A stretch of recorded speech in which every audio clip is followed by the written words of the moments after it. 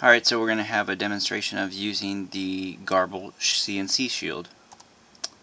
So we've connected to it via screen. Uh, basically terminal, any terminal program will work. We can type in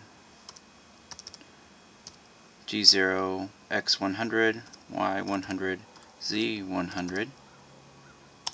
Go ahead and hit enter.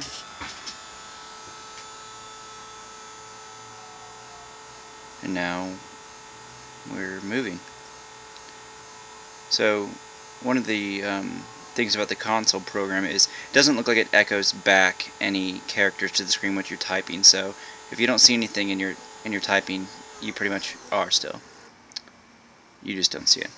So that was just a brief example of our CNC grbl Shield and we'd like to thank Simon for uh, releasing grbl in the open source community.